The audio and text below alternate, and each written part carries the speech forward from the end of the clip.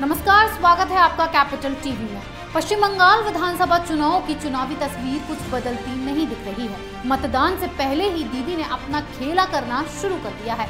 सत्ता जाने का डर ममता दीदी पर इस कदर हावी है कि उनके गुर्गों ने वोटर्स को डराने, धमकाने और बमबाजी का सहारा लेना फिर शुरू कर दिया है। क्या है पूरा मामला? इस रिपोर्ट में देखिए।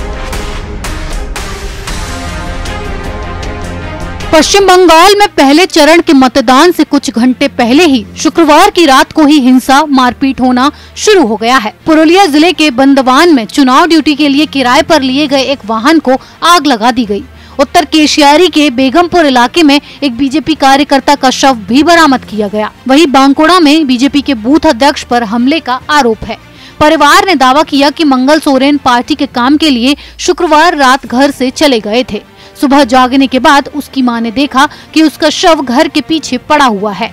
उसके सिर पर चोट के निशान हैं, कान पर खून और गले पर खरोच के निशान थे और इन्हीं हिंसा की घटनाओं पर बंगाल बीजेपी के अध्यक्ष दिलीप घोष ने टीएमसी को घेरा और चेतावनी दी सत्तारूढ़ पार्टी टीएमसी जानती है कि पहले और दूसरे चरण में जिन क्षेत्रों में मतदान होने हैं, वहाँ बीजेपी मज़बूत है।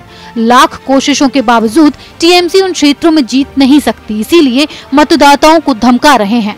बीजेपी के कार्यकर्ताओं को मारा पीटा जा रहा है। जगह जगह हिंसा हो रही है।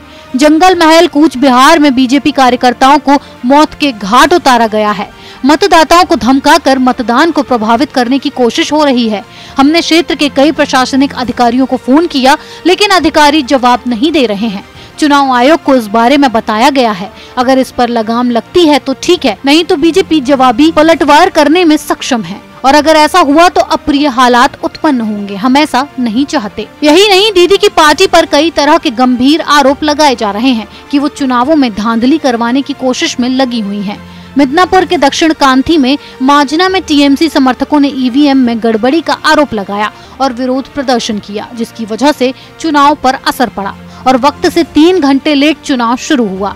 इतनी घटनाएँ एक साथ वो भी बंगाल में ही होना इतफाक नहीं हो सकता, जिससे ये बात साफ़ हो चुकी है कि मिदनापुर के दक्षिण कांति में माजना में टीएमसी समर्थकों ने ईवीएम में गड़बड़ी का आरोप लगाया है। विधानसभा चुनावों में बंगाल एक ऐसा राज्य है जिसमें चुनावों को लेकर पार्टियों में आमने सामने की टक्कर है और जिसमें टीएमसी की आला कमान ममता दीदी बीजेपी को न टिकने देने के लिए रोज नए नए प्लान लेकर आ जाती हैं और जमकर खून खराबा कराने पर उतारू हैं। सवाल ये है कि सियासी जंग में आम लोगों का खून क्यों बहे? इस खबर में फ़िलहाल इतना ही। बने रहिए कैपिटल टीवी के साथ। आपको हमारा वीडियो पसंद आया हो तो इसे लाइक करें, हमारे चैनल को सब्सक्राइब करें और हाँ बेल आइकन दबाना ना भूलें, ताकि आप तक हमारे वीडियो की नोटिफिकेशन पहुँचती रहे। आप अपना सुझाव हमें कमेंट बॉक्स में दे सकते हैं। हमारे साथ जुड़ने के लिए शुक्रिया।